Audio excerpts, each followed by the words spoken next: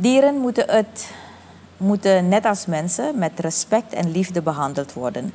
De boodschap van Rahul Yetu, hoofddierenverzorger van de Paramaribo Zoo in verband met Werelddierendag vandaag.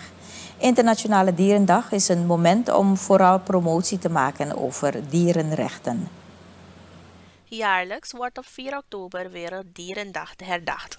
Dierendag werd voor het eerst gevierd in 1930 en is ter ere van Franciscus van Assisi, een religieuze man die veel om de natuur en het lot van de zwervers, zieken en dieren gaf. In de beginjaren werd er meer aandacht gegeven aan de relatie tussen mens en dier, maar de laatste jaren gaat het vooral om de bescherming van de rechten van dieren. Hiertoe is van mening dat er niet alleen op deze dag extra aandacht moet zijn voor de dieren.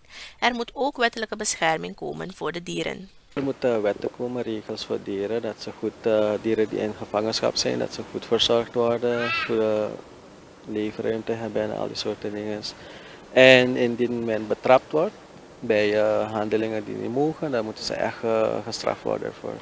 Niet een boete geven en loslaten. Echt een straf. Dierenverzorger Jody McDonald spreekt van een groep die aan enorme bescherming toe is vanwege de kwetsbaarheid. Dieren hebben allemaal een andere persoonlijkheid en op basis daarvan moeten de dieren worden behandeld.